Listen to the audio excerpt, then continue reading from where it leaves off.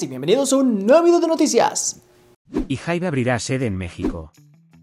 Nuestra unidad con sede en México estará a cargo de la gestión de los artistas. También descubriremos e incubaremos nuevos talentos incorporando productores musicales de primer nivel, que puedan construir sistemas optimizados localmente para nuestra capacitación y desarrollo y artista y repertorio, dijo Hybe. También estamos considerando injertar la metodología del K-pop al género latino. Dijeron. Entre los movimientos más recientes de esta empresa, fue firmar con Exile Content Studios, división Exile Music, que resultó ser la empresa de entretenimiento y medios de más rápido crecimiento enfocada en los 550 millones de hispanohablantes en todo el mundo. Parece que Hype estará intentando ingresar al mercado latino. Antes, la empresa surcoreana se fusionó en 2021 con la compañía Ithaca Holdings de Scooter Brown, quien también es dueño de SB Projects, compañía que maneja a artistas como Justin Bieber, J Balvin, Demi Lovato y Ariana Grande. Y Jungkook rompe un nuevo récord. El 12 de noviembre, hora local, Billboard anunció oficialmente que el primer álbum en solitario de Jungkook, Golden, había logrado un nuevo récord al debutar en el puesto número 2 del Billboard 200, tras registrar la mayor semana de ventas en los Estados Unidos entre los solistas del K-pop en la historia. Golden, también hizo historia al debutar en el puesto número uno en la lista de los álbumes más vendidos de Billboard, convirtiéndose en el álbum más vendido de la semana en los Estados Unidos.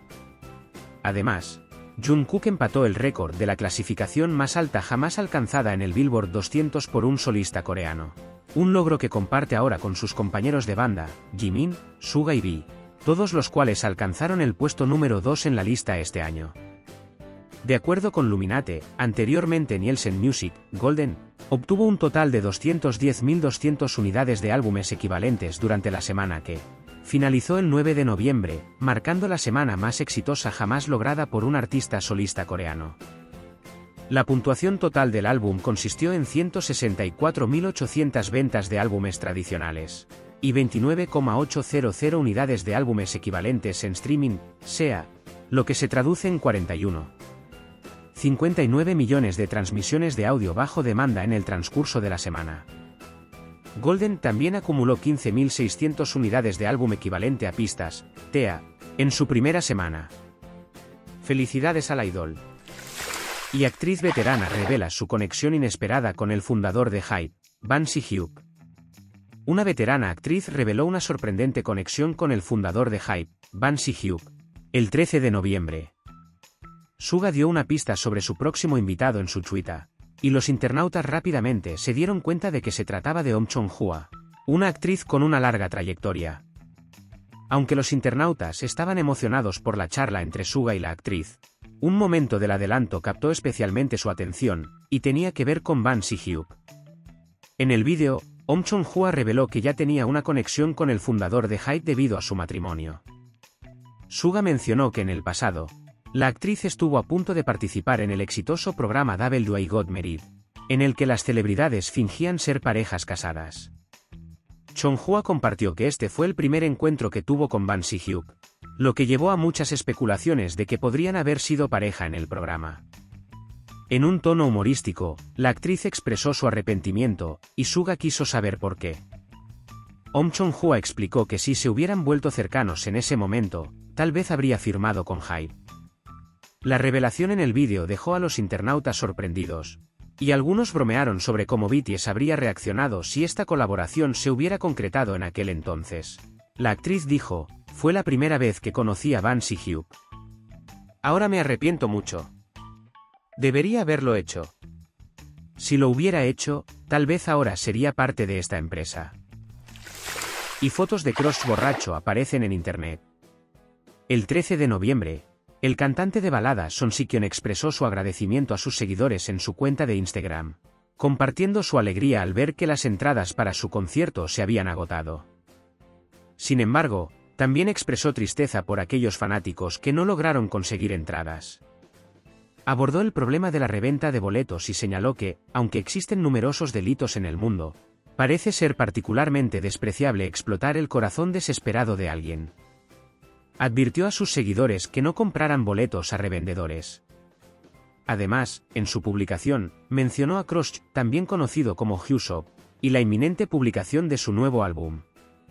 Compartió fotos en las que ambos aparecían con los ojos cerrados mientras él sostenía a Son Sikyon, aparentando cierta incomodidad. Son Sikyon comentó sobre el próximo lanzamiento de un nuevo álbum de Cross. Escuché que Hyusop lanzará un nuevo álbum la próxima semana y visitó mi canal de YouTube. He escuchado el álbum completo y es realmente bueno. El canal de YouTube de Son Sikyon es conocido por ser un espacio donde entrevista a artistas y celebridades, mientras comparten comida y bebida alcohólica.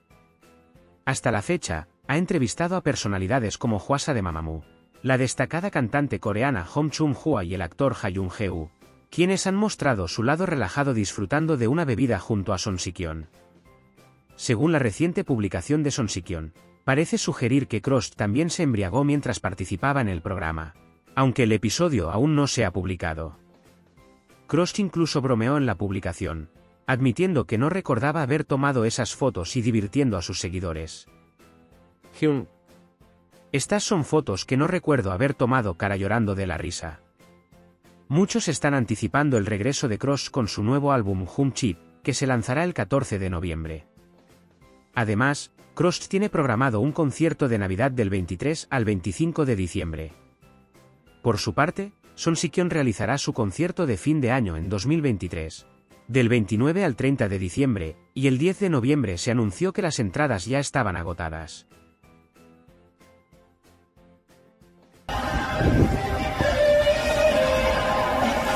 Y Army manda camiones de protesta a Hype. Armies coreanas enviaron mensajes a los medios para exigir que Hype cumpla con sus obligaciones de proteger y gestionar la carrera de Jimin.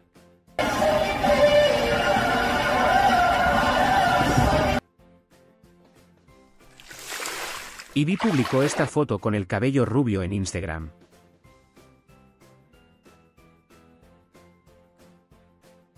Bueno, esto fue todo por este video. Espero que les haya gustado. Recuerden suscribirse haciendo clic aquí. Y si les gustó este video, les recomiendo este otro video en mi segundo canal haciendo clic aquí.